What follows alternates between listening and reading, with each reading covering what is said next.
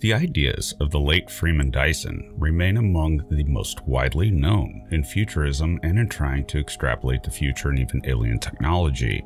Most famously is his concept of surrounding a star with structures to create a Dyson swarm or shell, though he did not call it a Dyson sphere. He left that intentionally vague because it could be done for any number of reasons in a bunch of different ways. It was actually Nikolai Kardashev that coined the phrase Dyson sphere. Another less famous, but still floating around out there, idea is that of Dyson's sunflowers. These actually were envisioned not as human or alien constructs, though they could be, but an actual consequence of natural evolution on a world very different from our own. Think Europa and Enceladus, where life makes its way up through the cracks to the surface, and somehow survives and can sustain itself while it evolves the ability to harness sunlight. And you get a Dyson sunflower that might evolve mirror like petals to focus sunlight onto the plant. While that may seem a stretch, we do know that plants on Earth can sometimes do some very bizarre things. That had we not discovered it, we wouldn't have believed it possible. A carnivorous Venus flytrap comes to mind, as do Earth sunflowers that track the sun across a day. And after all, nature finds a way. So such things as Dyson sunflowers might exist somewhere out there, or they may not, having gone extinct after a particularly culinary aware alien species from another star system entirely uses them up as garnishes for their favorite dish. called that one Godier's Chef. But there are actually several lesser known ideas that Freeman Dyson proposed that don't get quite that level of attention, even within circles that think about such things. One of them is the concept of Dyson's trees, though in fairness, there are a number of examples of them in past science fiction. The idea of a Dyson tree first requires genetic engineering. You probably won't have these things evolving naturally, which makes them a form of technology. They don't have to be a tree, they can be any number of types of plants, but a tree is a good place to start. It's essentially a plant designed to grow on a comet. It would work like a tree does here on Earth, there's often just as much of it in its root system than its foliage, so a large part of it would be rooting down into the comet to collect nutrients and water. The foliage, as it were, would collect sunlight and photosynthesize. This would be useful to engineer because plants produce oxygen, and if they do it long enough, you end up with some type of breathable atmosphere for a human located inside the comet, on its surface, maybe in a dome, or even within the plant itself. You'd have to trap that oxygen, but that's not necessarily a serious problem. As a result, you get something close to a self-sustaining habitat, but you'd very likely have to genetically engineer the plant to produce much more oxygen than an Earth plant would, even for a small colony space. Interestingly, there is another aspect. Certain Earth plants are thermogenic. They actually have evolved the ability to generate heat, proving that plants can evolve and have the ability to do it. Heat is also useful when dealing with a comet, especially if you're in a situation where solar energy is low, which is likely for a comet because if you get too close to the sun, its volatiles start evaporating. While an interesting idea and hypothetically possible, I don't know that a Dyson tree system would be the best way to do it. If you really want to grow trees in space and utilize their oxygen making capabilities, it's much better to put genetically modified trees inside sealed O'Neill cylinders because you gain a number of advantages, including artificial gravity, if the cylinder is rotating. Whereas choosing a comet for nutrients only benefits from the fact that it has water, but only a finite amount, though recycling water can be very efficient. The other is that access to strong solar energy is always going to be useful. You can see this effect in how we do things now. Whenever we launch solar system probes, we solar power them if they are close enough to the sun to collect up suitable energy. Sometimes we do not. Mars is a wild card here, in that you can, and we have, sent solar powered spacecraft there. We've also sent nuclear powered RTG probes that were more suited for the task. The current large rovers operating on Mars are nuclear powered, but anything in the outer solar system is best done with nuclear energy because of a lack of strong solar energy. This probably creates another issue for the Dyson tree as originally envisioned because you need strong solar energy for a photosynthesizing tree. Granted, such a thing could be made to completely block sunlight and thus change the equation for the comet melting and forming a coma and tail, but in the end it may be more trouble than it's worth compared to other means of space colonization. This differs very much from the next Dyson concept, the Astro Chicken. This really is an expansion on the ideas of John von Neumann, famous for many reasons, but in this context, his idea of a von Neumann self replicating probe. He was actually more widely interested in the idea of automatons in general. As I've covered many times, a von Neumann probe is a self replicating autonomous probe that can make copies of itself and very efficiently place one of its copies in every star system in a galaxy in under a few million years at sublight doable speeds. Dyson took this further, and he didn't initially call it an astro chicken. An audience member at a lecture did because it actually does bear some kind of an odd resemblance to a chicken.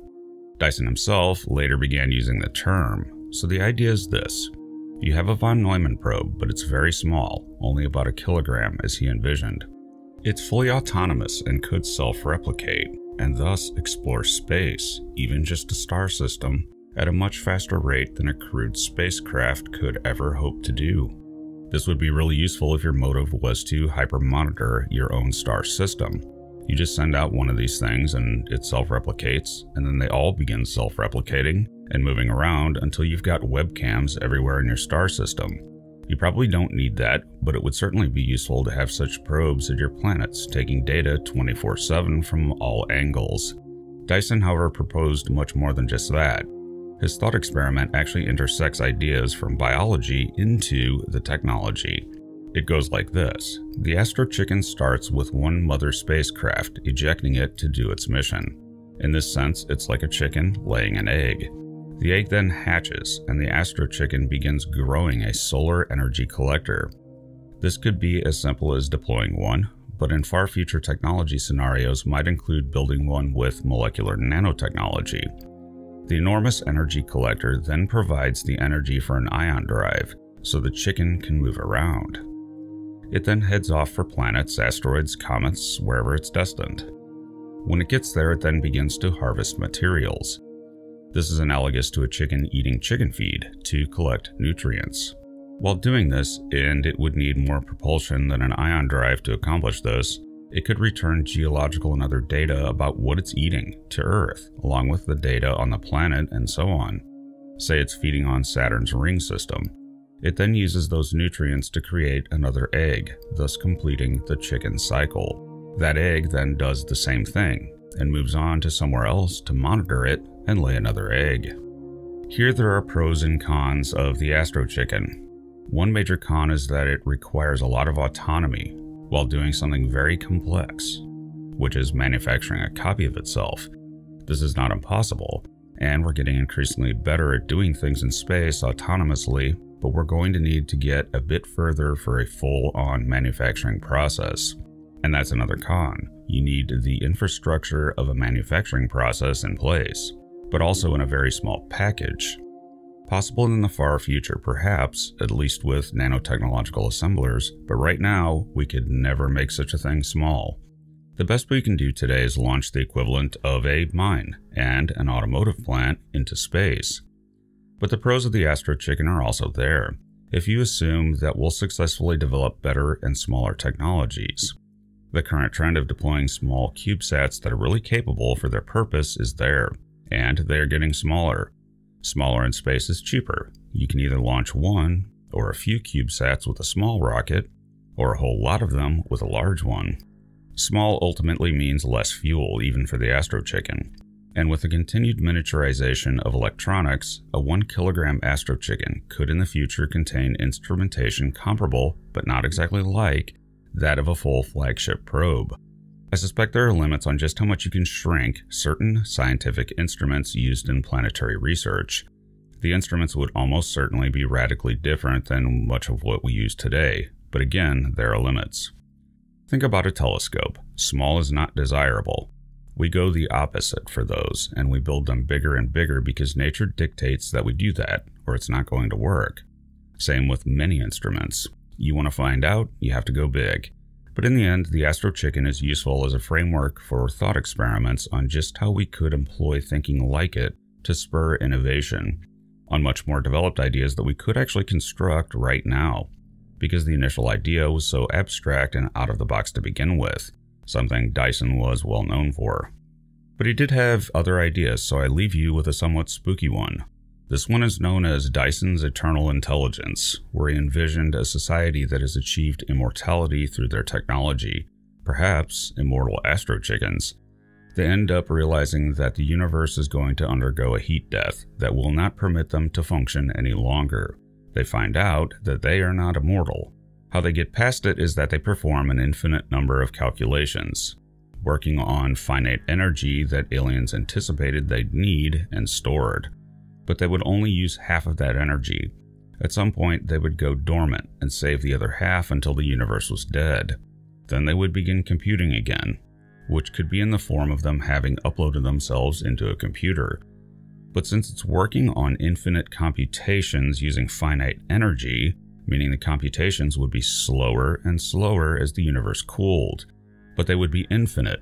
Thus, to them, from their perspective, they appear to have defeated the death of the universe.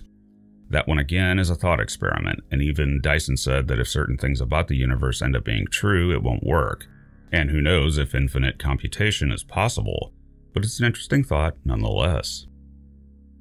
Thanks for listening. I am futurist and science fiction author John Michael Godier, currently deeply concerned about the unsaid things about an astro chicken. If it really ends up being something like a chicken, some poor astronaut out there encountering one, or worse, an alien, could end up getting mercilessly pecked, as in put a hole in the spacesuit. Not good, especially if the chicken is immortal. And be sure to check out my books at your favorite online book retailer and subscribe to my channels for regular in depth explorations into the interesting, weird, and unknown aspects of this amazing universe in which we live.